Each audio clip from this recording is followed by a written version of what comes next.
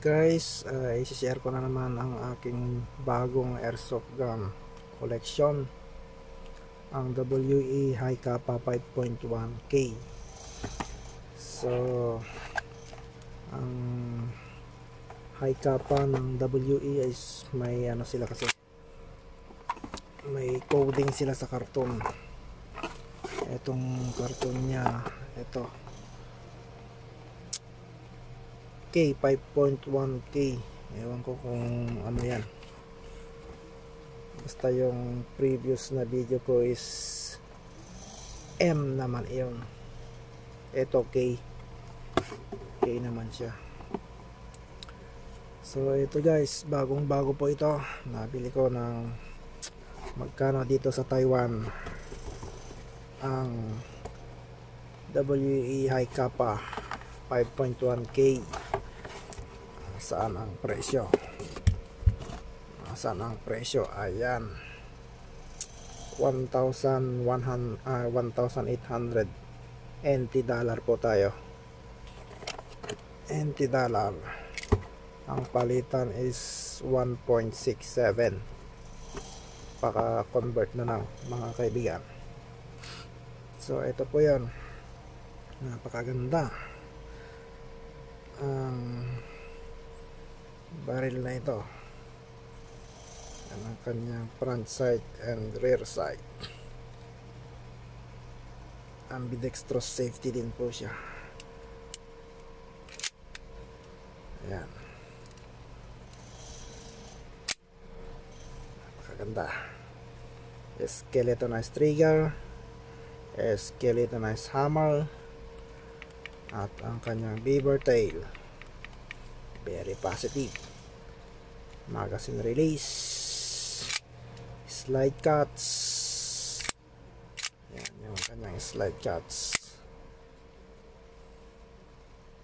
Yan. Tingnan natin ang forma ng baril na ito. Ayan. Ito pong rear sight niya is na-adjust. Ayan na. Up. Pipihitin lang po ito and then down. Ito yan. Na-adjust lang po yan.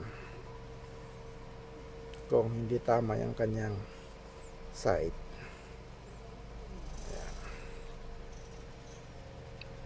Bagong bago may oil pa. Kanyang sticker. Hindi pa ito nagagamit. Pero ite-testing na natin uh, kanyang timbang is 1,120 grams. So timbangin po natin ito. Try natin. So yan guys. Titimbangin natin kung tama yung sinabi ni WE oh 987 lang dito. Ewan ko kung hindi pantay lang ito. Itong karton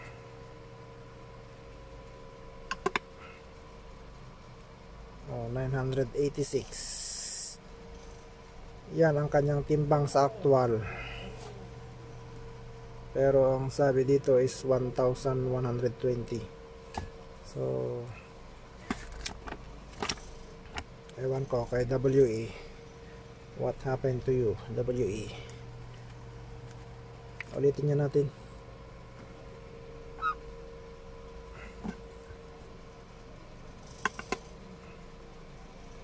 989 yan talaga ang kanyang timbang. So mga guys i-test po natin ang kanyang chrono. Uh, gamitin natin ang 0.2 grams. Yan po yung standard na pinangsusukat ng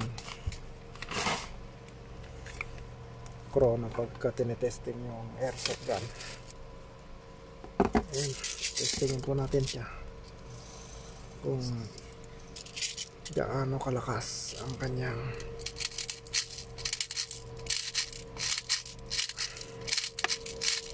ang baril na ito. Pabilisan lang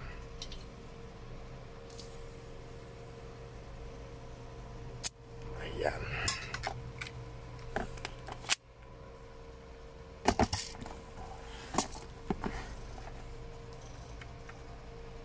feet per second, point 0.2 grams. Ayan.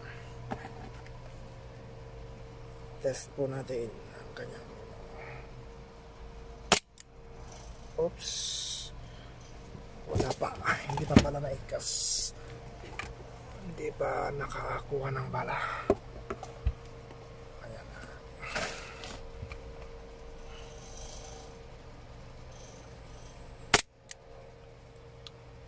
348.9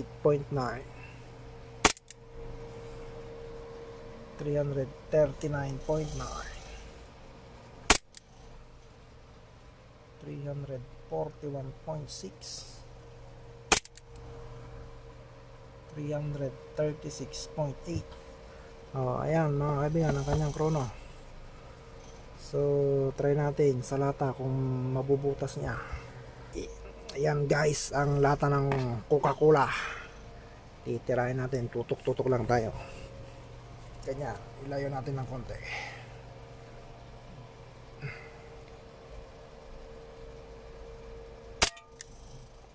Ayun.